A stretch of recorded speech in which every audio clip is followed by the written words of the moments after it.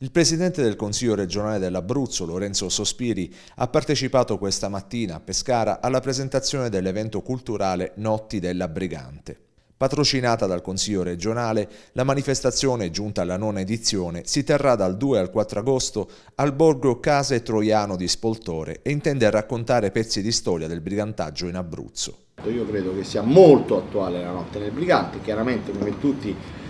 eh, come tutte le manifestazioni culturali è arricchita di tanti momenti aggregativi, musicali, interessanti che attirano l'attenzione eh, della gente, ma il, il, fulcro con il quale io ho concesso il patrocinio è poter insegnare e far capire, far conoscere ciò che è stato affinché